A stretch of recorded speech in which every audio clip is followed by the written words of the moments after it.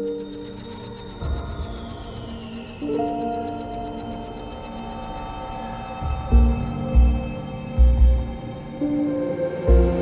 chào quý vị khán giả, mình tên là Hồng Ân. Thì thông qua một người bạn mình biết được hoàn cảnh của cô Thanh Xuân và Thanh Đào là hiện giờ đang có hoàn cảnh rất là khó khăn. Và hai cô đang sống một mình và đang bị bệnh rất nặng và mỗi ngày cô cũng đều cố gắng để mà đi bán vé số để trang trải cuộc sống của mình ở trong cái điều kiện ờ, nó rất là khó khăn và đáng thương Tôi là nghệ sĩ Trang Thanh Xuân. Năm nay tôi 71 tuổi. Tôi vô nghề lúc 14 tuổi là đi đoàn ban thiếu nhi qua thế hệ trên đài truyền hình. Và sau đó là tôi đi đoàn ờ, Thái Dương, Thành Được, Phượng Liên.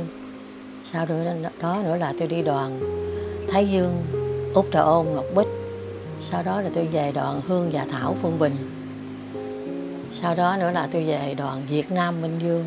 Năm 75 là tôi vẫn còn ở đoàn Minh Dương Việt Nam.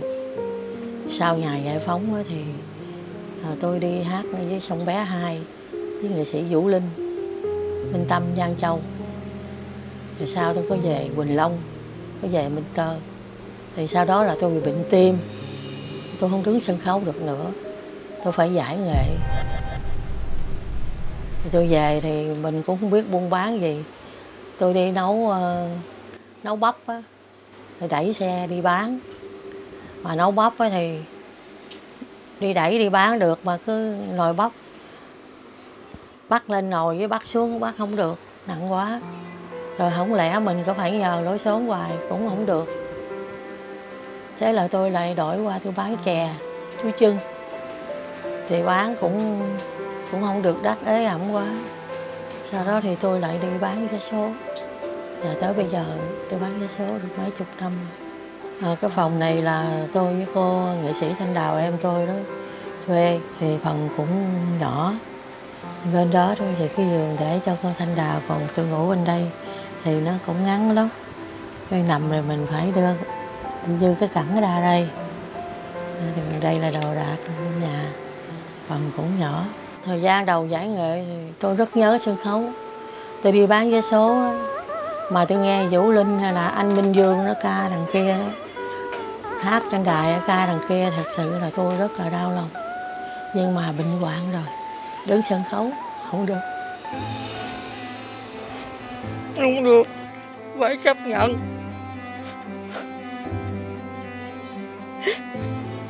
Bây giờ em tôi nghệ sĩ thanh đào. Cũng đi bán vé số. Tôi thì tim tôi hai thứ. Rối loạn tiền đình, huyết áp cẳng thì thôi quá khớp cẳng tỉnh mệt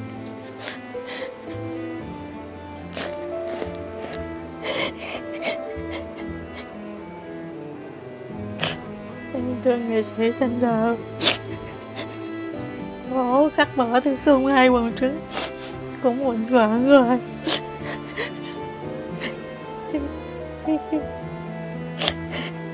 Một ngày thì tôi chỉ bán được khoảng 50 tờ vé số.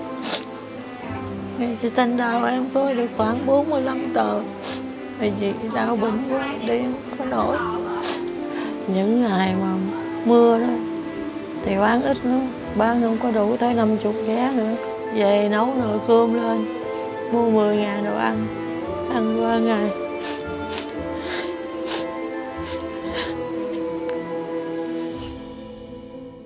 thì thông qua chương trình Hồng Ân mong muốn là đóng góp cái ờ, lời ca tiếng hát của mình để mong là có có thể góp một phần chút sức lực nào đó để giúp đỡ cho cô.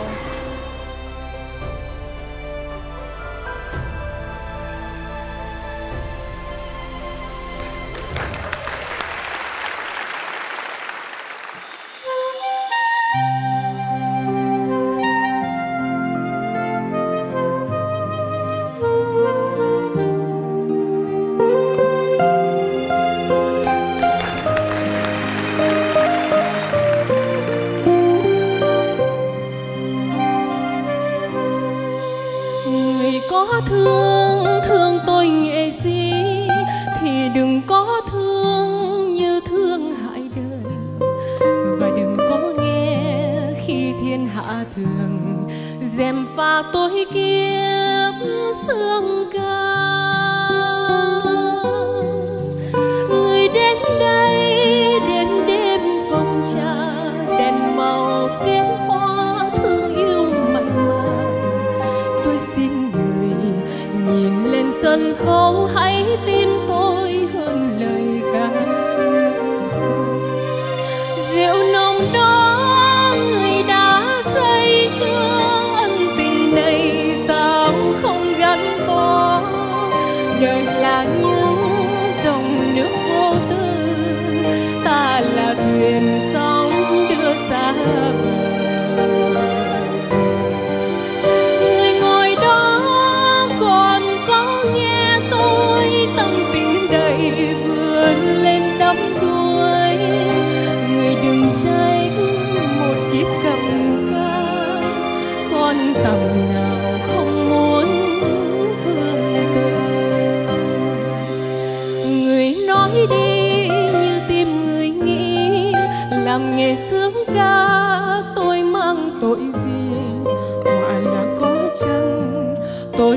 tội đời làm cho nhân thế say mê.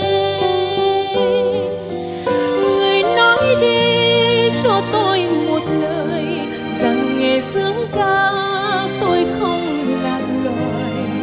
Tôi ơn người, phần tâm tôi muốn kiếp vương tơ cho đời vui.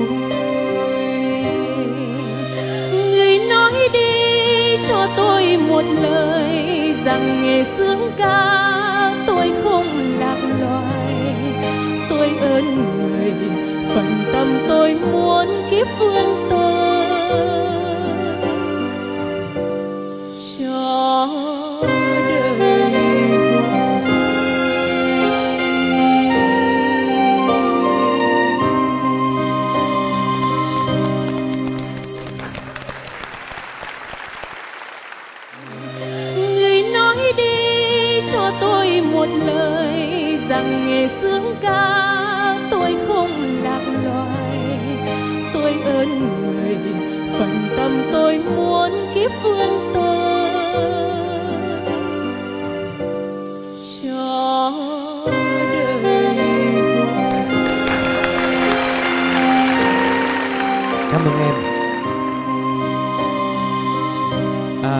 thưa quý vị, có lẽ bởi vì đây là câu chuyện của một người nghệ sĩ, cho nên là đại nghĩa cũng như là các à, anh chị em có mặt ở đây có rất là nhiều sự đồng cảm.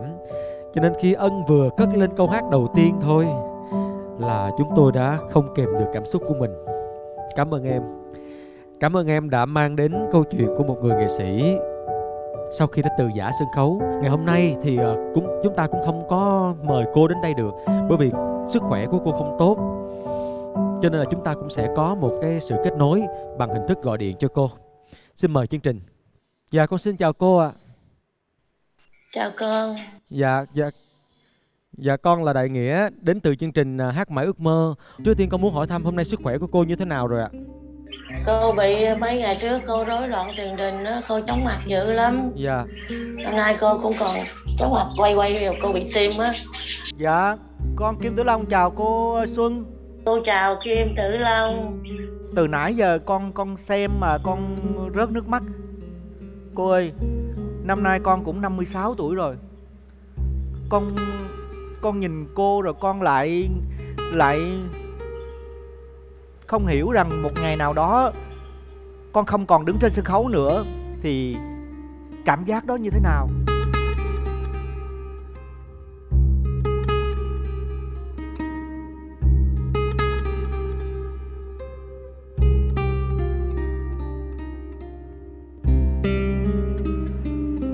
Cô ơi.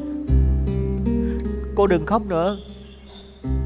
Con Con cảm ơn chương trình. Nếu như không có chương trình hát mãi, Ước mơ này thì con không thể biết được cô Trang Thanh Xuân Lại có một cái cuộc sống như vậy đâu. Con không biết một người nghệ sĩ Tên tuổi lừng danh Của thập niên 80 Mà bây giờ phải như thế này.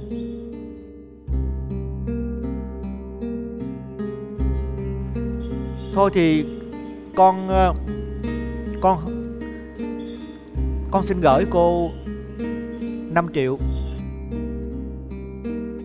Con thương lắm trời con không biết nói sao luôn. Con bị nhức đầu luôn. Con gửi cô à, à, một món quà nhỏ nhỏ 10 triệu nha. Gửi nó đấy được cho em. Cầm nha Thương lắm cô ơi. Cảm ơn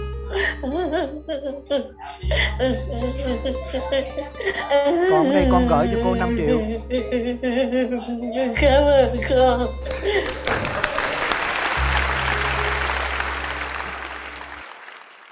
Ờ, em chưa kịp nói với cô vài lời.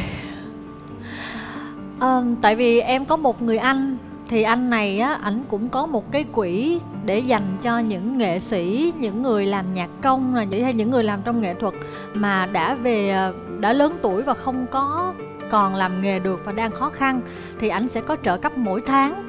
Thì à, em sẽ xin chương trình cái à, địa chỉ hay là cái số điện thoại của cô để em sẽ kết nối với anh bạn của mình để anh có thể có cái sự giúp đỡ cho cho cho hai chị em cô mỗi À. tháng trợ cấp hàng tháng luôn.